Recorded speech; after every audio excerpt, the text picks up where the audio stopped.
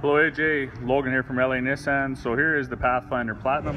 One of the main differences in this one is you do have the intelligent cruise control, which uh, will help you forward emergency braking on this one.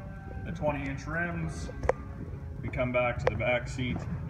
The uh, big difference here is the tri-zone entertainment system, the DVDs, the sun's kind of in our way there.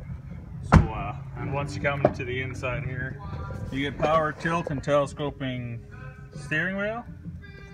So it goes up and down with power instead of having a lever.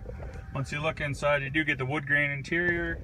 You also get heated and cooled seats in this model. So uh, yeah, those are some of the main differences from going Platinum to SL. If you have any questions, 780-769-0060 or on my cell phone, 780-237-5057. Thanks. Bye.